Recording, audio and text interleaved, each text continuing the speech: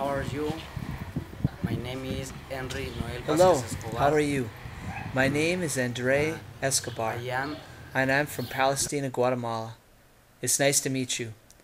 It is a privilege to be here sharing with you, the young people from Minnesota. It has been a great blessing to travel around and go over the team has gone. It has been a great blessing because I've learned to be much more humble. I've learned that when you walk with God, there is nothing too big for Him to handle pride, worldly things, youthful pleasures, etc. The Bible says to turn from evil and to do good, to look for peace and to follow it. For me, it has been a blessing to know all of you. Thank you for everything that you have given us. May God keep you safe and keep you using all your years that He lets you live. Perhaps someday I can come and visit Minnesota. cada It'd be a blessing to travel there. Blessings to all of you from Minnesota. I love you. Thanks.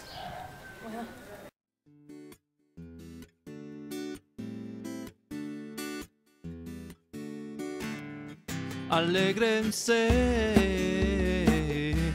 alégrense, alégrense.